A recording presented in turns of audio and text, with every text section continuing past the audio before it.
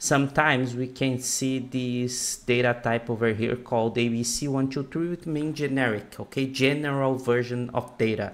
This is the data that Power Query didn't recognize yet. So how can we fix? There are two ways. Hi everyone, Rodrigo here once again for one more Power Query video and today I'd like to share with you guys how can we change the data types in our data source. Let's do it together.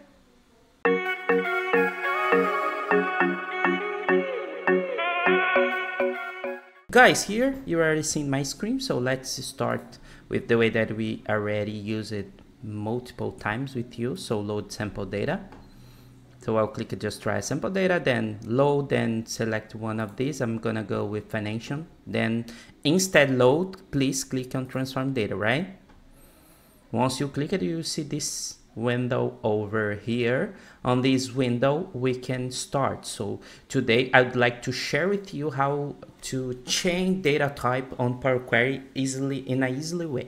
So before continue let's just remove this change type that power query already applied in our data set so once we remove it, I would like to share with you how to do it, not to use the Power Query way, okay? But, but it's good to know that always Power Query try to understand our data and change the data types automatically, okay? This is the normal path that Power Query does always when we upload a new data set. But sometimes we can see this data type over here called ABC123 with mean generic, okay, general version of data.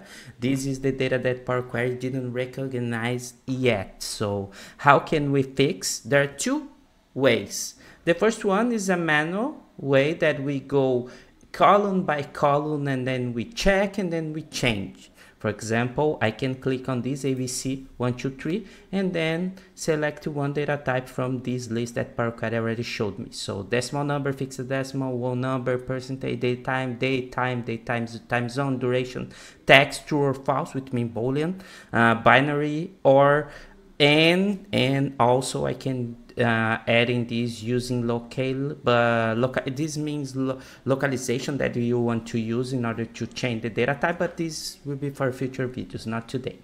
In this case for example segment I know it's a text one so I go here and click here.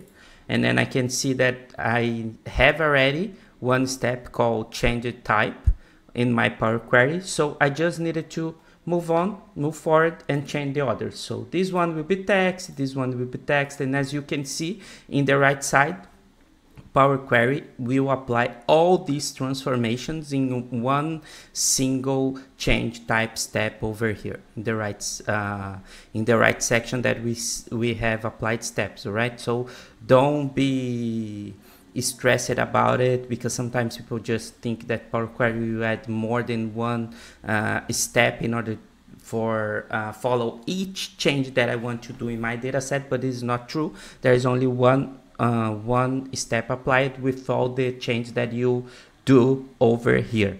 However, I have lots of columns and I don't want to do this one by one. I want to do something that Power Query just automatically change all the columns, all the fields with the their proper data type. How can I do it? I just go over here in this part of my page and I need to go to transform. This is something that you have to learn guys. We have here home section, transform section and add column sections. What the difference between transform and add column? The name says the difference. So when you are looking for transform some columns that you already have in our data set, the column to do it will be transformed. When you are looking to add a new column in our data, data set in order to have some data modeling new uh, data styles but uh, adding new columns you just go to add columns. So this is the first hack that you needed to know. You are looking for transform or add a new column. Depending of your answer go here or transform or adding columns depend of you. I'm gonna go to transform because as we saw i want to change these data types over here. So once i click on transform i will see here data type text because I have one column selected. If I click on this, I can see that now data type is called any, which means general one.